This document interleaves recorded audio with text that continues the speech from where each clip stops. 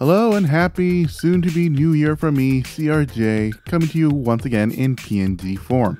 One, if you saw my short yesterday, you'd know that I ran myself thin this past Christmas.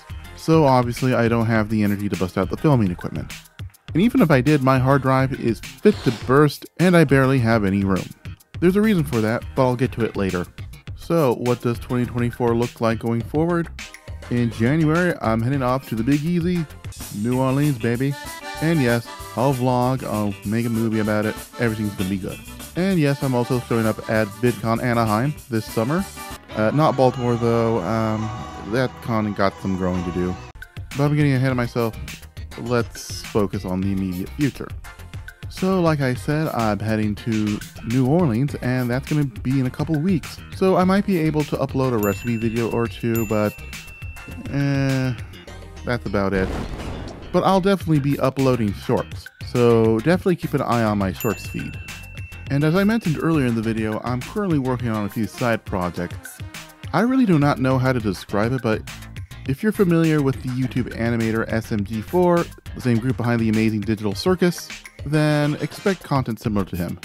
So that's why, as I said earlier, my hard drive is fit to burst. And okay, I think I need to bring up the elephant in the room. And yeah, if you can guess by the title of the video and the thumbnail, despite some pretty fun things to look forward to in the new year, I'm not that excited. Why? Well, I'm very scared to say this, but it's an election year. And the fact that I told you I was scared to bring it up should tell you a lot about how I feel about the upcoming year.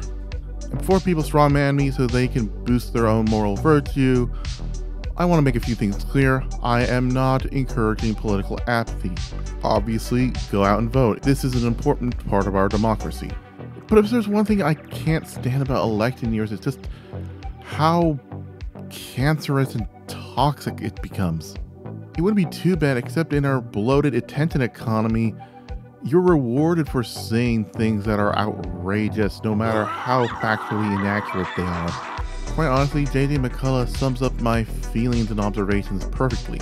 How American politics seems to be adopting a permanently apocalyptic tone in which voters are constantly told that the state of their country is so awful and the politicians of the other side are so irredeemably wicked. And this sort of language does seem to work in getting people motivated and excited about politics, even if it is completely out of touch with what 21st century America is actually like. And here's something I've been hiding from you. During and after the 2020 election, my mental health took a massive blow. Didn't help that COVID was going on, but still. While I am feeling a little more centered and I'm able to handle politically charged news more healthily, I still worry about relapsing.